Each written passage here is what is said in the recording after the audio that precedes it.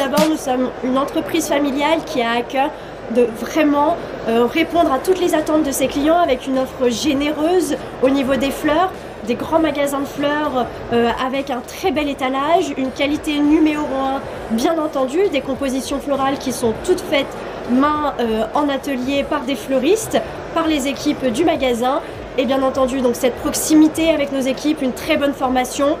une qualité euh, exemplaire et euh, ce qui nous caractérise vraiment, c'est des magasins qui invitent au bien-être. Et ensuite, pour ce qui est des actualités de notre réseau, eh bien, nous avons reçu le trophée de la gestion et de la performance économique euh, en novembre 2023 par l'IREF et nous avons de très belles ouvertures prévues pour 2024. Nous avons hâte de vous les présenter.